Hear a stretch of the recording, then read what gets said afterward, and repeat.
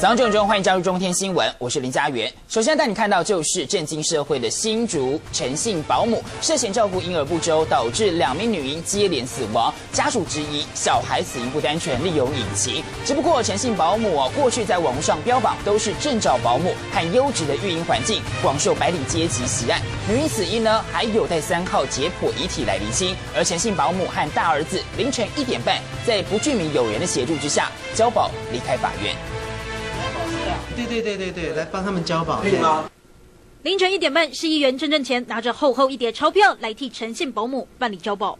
就是有个民众啊，因为因为他基本上他也觉得他们其实是家庭其实还蛮还蛮弱势的，所以他愿意出这个交保的费用，那就请我来帮忙做这个，因为他提供了多少钱？就二十万啊。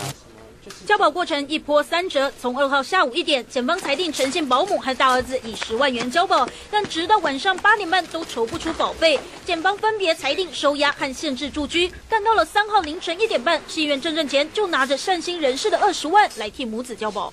非常感谢这个人。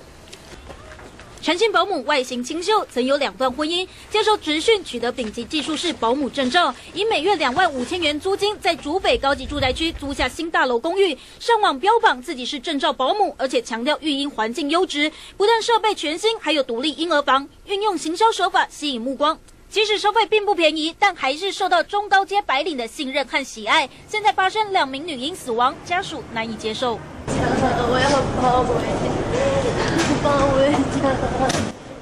女婴母亲哭断肠，强烈质疑才七个月大的婴儿怎么可能拿滑鼠线缠自己脖子。